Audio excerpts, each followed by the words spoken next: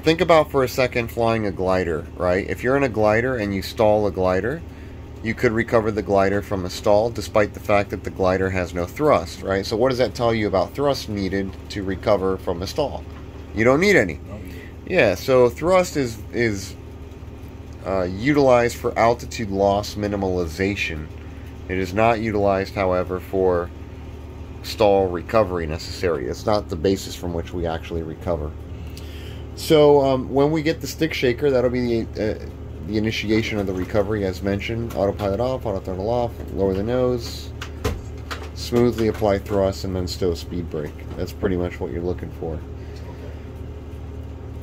Alright, any questions on that so far?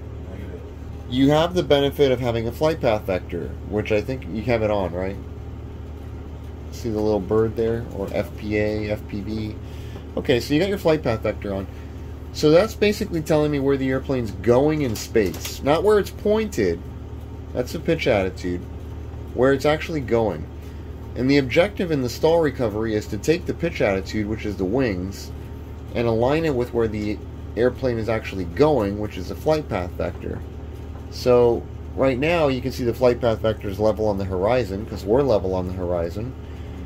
And in order to attain that, we're actually at a slightly nose high pitch attitude. So when we recover from the stall, which you're going to have the stick shaker go off at an approximate 12 and a half degrees nose up pitch attitude, what you're going to do is you're going to disconnect, as mentioned, autopilot auto throttle, lower the nose, and you're going to try to bring the pitch symbol down towards the FPV or the flight path vector to better align the pitch of the plane to where it's truly going in space.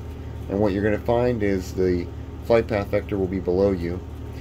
Keep in mind, these are approach to stalls. These are not full stalls. Approach to stall is different. Approach to stall is, hey, the airplane's actually still producing the wings specifically, the airfoils are producing lift still, validated by the fact that the VSI is still on zero at the time of the stick shaker occurrence. So you're not really fully stalled.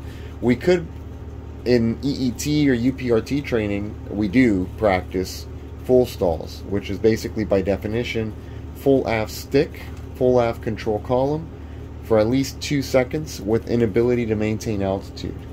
So we don't take it to that degree in the format that we're training it here because this is not an EET nor a UPRT session. But uh, that's what you would expect in those events. All right. So any questions on that?